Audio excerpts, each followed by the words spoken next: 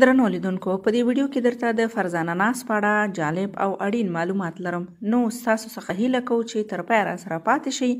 او که زموږ چینل مو سبسکرایب کړی نه وي نو زموږ چینل در سره حتما سبسکرایب کړئ فرزانه ناس چې د هیواد له ځوانو او مشهورو سندرغارو څخه ده تازه د لمر تلویزیون سره په یوه مرکه کې د خپل شخصي ژوند په هکله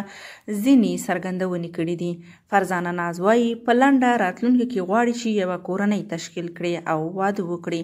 د دې په خبره چې نور غواړي یوه کورنۍ ولري او څو ماشومان هم ولري.